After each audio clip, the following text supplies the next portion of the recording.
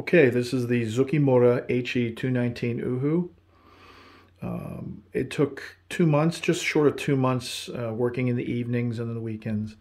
And it is the most fiddly model I have ever built. It also, a lot of the parts didn't fit exactly right.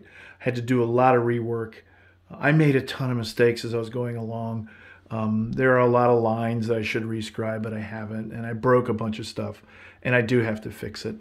But in the end, uh, it did turn out really well, and I really enjoyed the the thing I, I worked on this model for was for the paint. I had never done a I'd done a modeling before, but I'd never done one this uh, robust, for lack of a better word.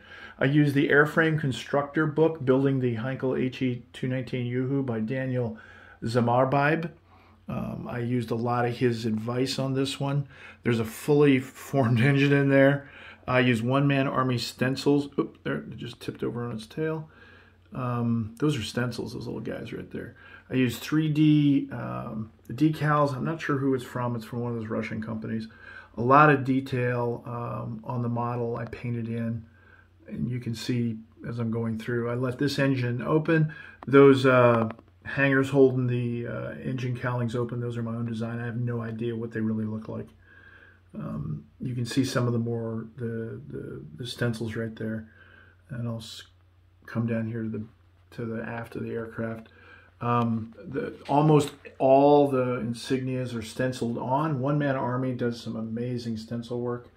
There's a little back door right there. There's a fully formed inside, but I'm not showing that off. It didn't. I don't think I did very well at it.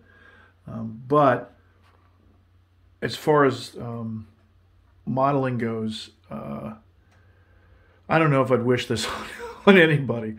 Um, it's built like a real plane. Zoukei-Mura has a habit of doing that. I've had more trouble with my Zoukei-Muras than any other brand. I think I'm not going to build some for a while. But in the end, they really do turn out great. They look great. Um, just put some time and effort into it.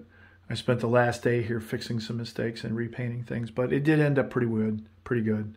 Um, I'm proud of the work. And I'm thankful for all the guys in the forum because you guys really gave me a lot of, you know, you really pushed me along and said some really cool things. And I really appreciate that. You guys are the best.